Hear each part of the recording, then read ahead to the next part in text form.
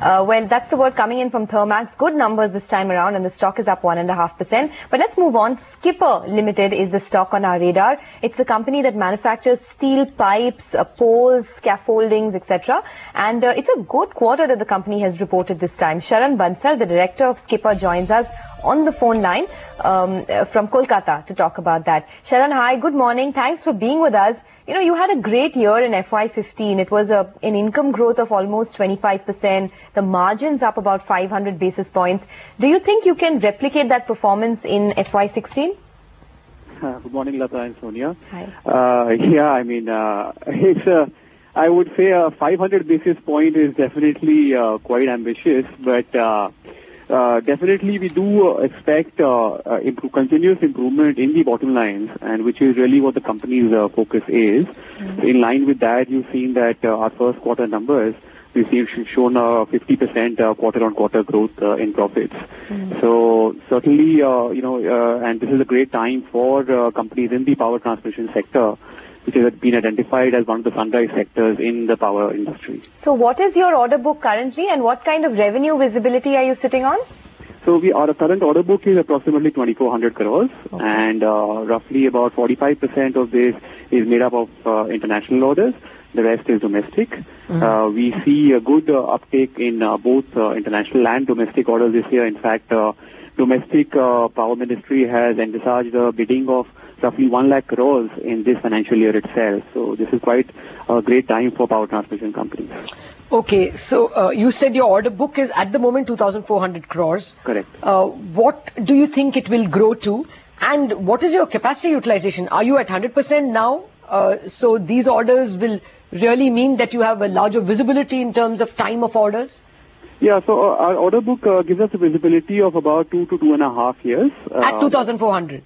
At 2,400. Okay. Uh, we expect it to at least grow by about uh, 40 to 50 percent uh, uh, in this financial year, looking at the huge uh, market opportunity. So you will And- increase capex? Uh, well, uh, fortunately, our uh, company doesn't require too much capex now going forward because we already have a lot of the fixed infrastructure available with us. So we only see very incremental capex uh, going forward. I Now, if your order book is going to rise by 40 50% as you say, Right. uh, will you be able to simply expand revenue because you have more work to do? You're already uh, uh, growing, I mean, the current uh, revenue growth itself is 26%. Right. Is that the CAGR or will it be even better, like say 30% CAGR? We are we are target companies targeting at least a growth of about 25 percent plus this year. 25% growth this No, year. I know that's your Okay. target. I'm only asking if it can be even better since you think the order position is so good. Uh, well, overall in the company, I expect that with the capacities, uh, uh, the way they are and, uh, and the capacity which we are going to be adding, uh, 25% uh, Yes. plus would be a good target to take. Okay. Uh, you did mention earlier on that you have a target of 3,700 crores of a turnover by FY19. Uh, can you tell us how much of this will come from exports? Because I understand that you have a presence in, you know, various African and European markets.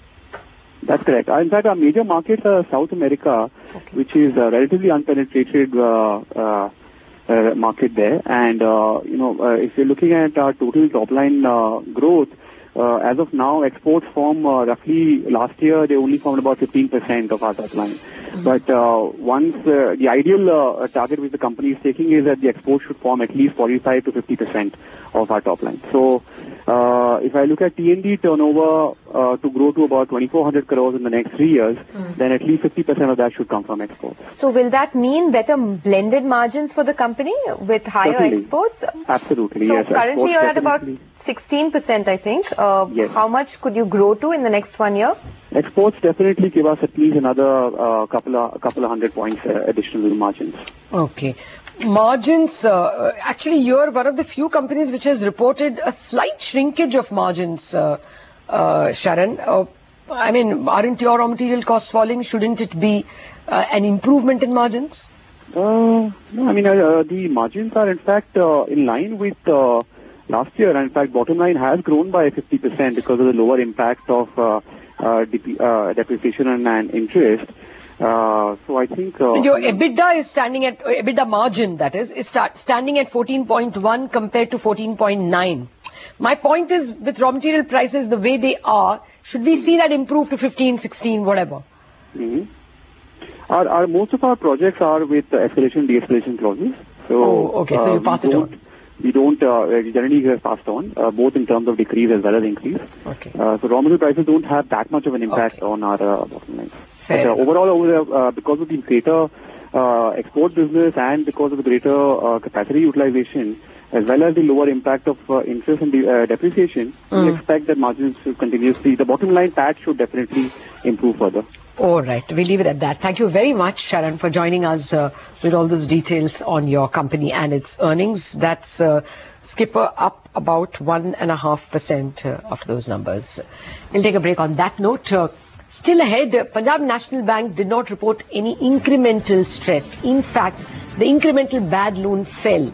Is the trend improving for PSU banks?